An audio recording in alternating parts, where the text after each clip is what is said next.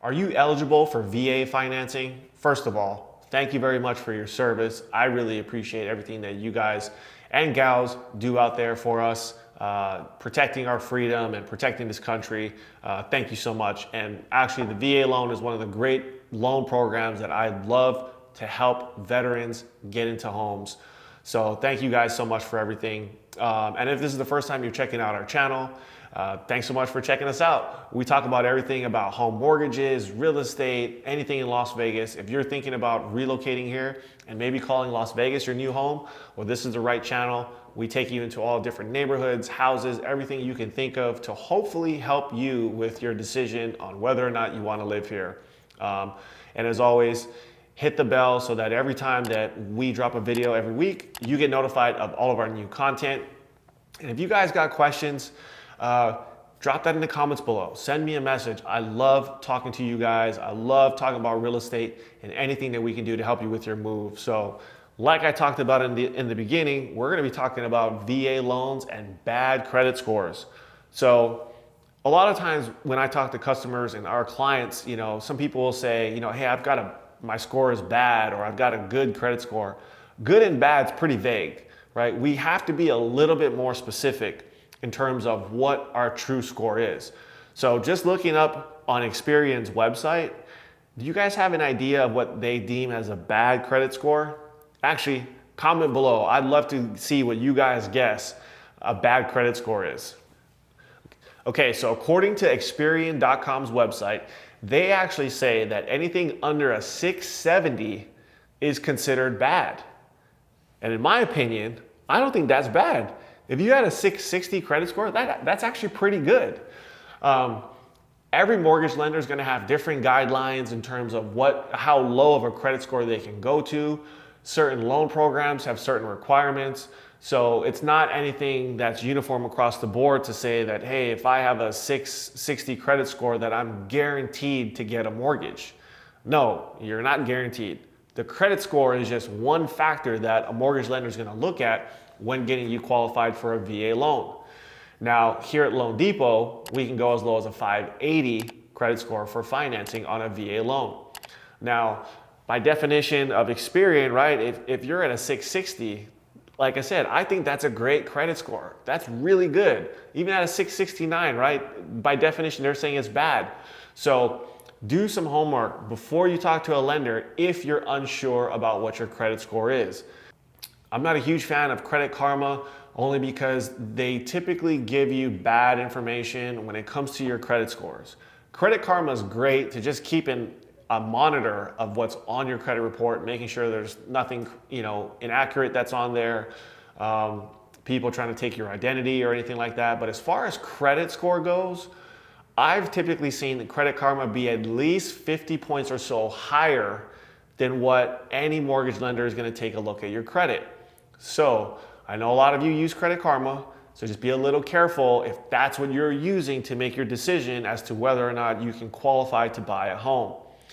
I always say if you're serious about buying, you need to let a mortgage lender pull your credit and let a professional tell you what your score is. Far too many times I hear people say, you know, I've got an 800 credit score, and when we pull it, it's a 700 or a 720 or I mean, I've even had one guy tell me once he had a 900 credit score. A 900. The score only goes to 850. And I've never seen an 850 in, in my entire life doing loans. So, a lot of bad information out there. Again, if you're serious about buying and you want to go the VA route, talk to a mortgage lender. Make sure that they do offer VA loans um, because not every lender is good at doing them. Some lenders, you know, they might go their entire mortgage career and maybe only do a handful of VA loans. So you want to make sure you're working with somebody that really understands the program. Because again, if you have a, if your score is on the lower end of the spectrum, um, the VA loan is forgiving. So right, like I said, we can go to a 580, but you still want to work with somebody who understands the program, right? Because there's certain nuances within the VA loan that when we pre-approve you, we have to make sure that we're crossing the T's and dotting the I's, right? You can't skip over certain parts of the application um, certain parts that we need to take into account when qualifying you in terms of your income and um, you know dependents and stuff like that. We have to make sure that all those boxes are checked. And certain lenders, if they're unfamiliar with the program, they could easily skip over that, maybe pre-approve you for the wrong amount. And again, the last thing we ever want to hear or have you guys run into is shopping for a home, finding out that you don't qualify for the property. So make sure you work with a reputable lender. Um, there's a lot of ways you can search for a lender online, whether it's on Zillow. If you have a specific name of a lender, you can look them up on Facebook, on Instagram, LinkedIn. There's so many different ways that you guys can find a great lender that can help you through the VA process. Now, let's say you're using Credit Karma or, or Experian.com or one of these other websites, and you actually pull your credit score up, and let's say you've got a 500, right? Life hits you hard. You couldn't pay maybe on some credit cards. You had a car repo or just some of these other things that life happens to us. And sometimes we just, you know, we let our credit go. And guys, it's not anything personal, right? Any mortgage lender that's gonna look at qualifying you, honestly, we don't really care we just need to know what happened, right? Did you lose your job? Was there uh, a divorce? Was there something that just took place in your life that, you know what, hey, I had a bigger priority than, you know, trying to make my car payment. And unfortunately, I had to let my car go because now, again, if we have that low credit score, what we want to do is get you into a position to get to maybe that 580 mark, right? So at least you have the bare minimum to qualify. Now, some lenders, really take it upon themselves to do credit repair for you. Some people will just refer you to maybe some credit repair companies that they've worked with in the past that have done good work. Now I know credit repair has a really bad bad stigma out there and a lot of people hate even the thought of going to credit repair because they feel like it's a waste of time. But get some get some references, right? Maybe ask your lender, who do they use? Who can they recommend to you? Because if you've got a 500 credit score, I mean, you can be a, mad all you want about a collection that you don't want to pay, but if buying a house is truly a goal of yours and a dream, guys, you got to face the music, man. We got to fix the credit because without the credit, you're not buying the house. And for all of you veterans that are out there, you've earned the right to use the VA eligibility for your loan with no money down. You can't let that just slip through your hands because of a collection or something else that happened years ago that you don't want to pay right? Put your pride to the side, pay that bill, and let's move on. Because if we can get that credit score up to the 580, 600 mark, you are potentially eligible to purchase a home. Now we just got to look at your income. We got to make sure that there's not that you qualify for the mortgage, and it's super easy to do. And once we get you to that point that you can buy, guys, that's the fun part. That's when it's fun to go look at houses and to be able to envision yourself and your family or maybe your future family that this is the house that you're going to live in. I'm going to wake up, I'm going to be cooking breakfast for my kids and this is where we're going to build memories. Right? Is it it's those are all the things that we we want to help you with when buying a house because that's the important stuff. If you missed a couple of credit card payments, let's fix it, right? Get with a lender. Get with someone who can just give you some good advice up front. And you know what? If it might take three months, six months, a year, that's totally fine because we're with you from start to finish. I've had clients that I've talked to over a year ago, sometimes even a year and a half, two years, where they've been working on credit and we continuously follow up just to make sure they're going down the right path, right? And we once they get their credit score high enough, we can get them qualified and get them into a home. So, you know, don't get discouraged if your credit's maybe not as high as you'd like. And I know sometimes you might be embarrassed, but it's okay. We're not here to judge you. We're here to make sure that if you tell me buying a house is a goal of yours, that we get you to that point and we make it happen. And another thing to keep in mind is let's say you do have a credit score that's barely over 580 and you know you're still working on maybe cleaning up a few things. I know a lot of people think that they have to have this 700 plus credit score in order to buy a house, or I'm gonna have some crazy high interest rate. That's all false, right? The VA loan is backed by the government.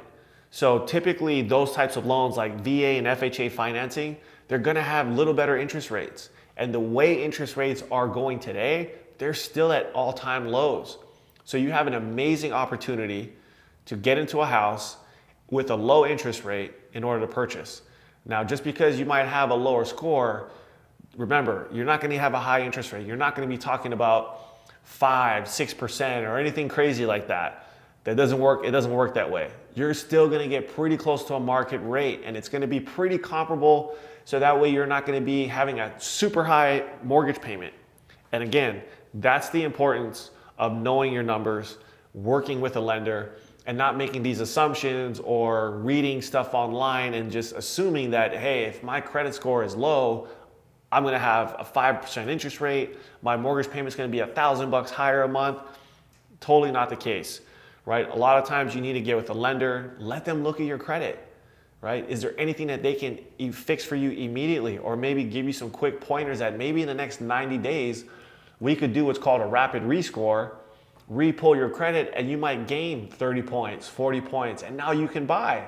But it's like being sick and not wanting to go to the doctor. The doctor's got to see you in order to diagnose the problem. Same thing with us in lending, right? I can't help you if you don't ask the question or you don't reach out to us and let us look at your credit. Let us do the application. Let us look at your overall financial situation and give you some guidance. And again, it could take three months, it could take one month.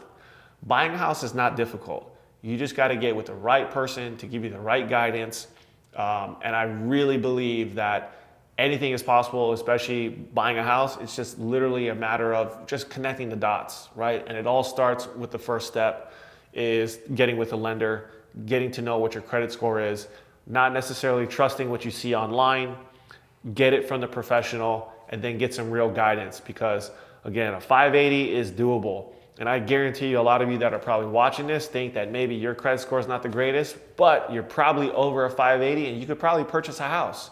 So, you know, don't take it from Experian's website saying that if you got a 670, that's bad. That's a good score, right? Get with a lender, get some good information, get some accurate information so that way you can start to figure out what it's gonna take for you to become a homeowner. So I hope this video helps you understand that buying a house with a bad credit score and using VA financing is very doable. If you guys have specific questions, comment below. Um, if you guys need help with your credit, we can obviously recommend some credit repair companies that have helped a bunch of our clients in the past um, to get you back on your feet, get you on the right path. You know, and if you guys uh, enjoy this, share this with your friends, hit the bell, like like the video. So all that stuff helps us helps us spread the love, spread the education to all the other future homeowners that are out there. And again, for all you veterans, I appreciate you guys. Thank you so much for your service and everything that you do for us and our country. Um, and I appreciate you guys watching. And as always, I'll see you on the next one.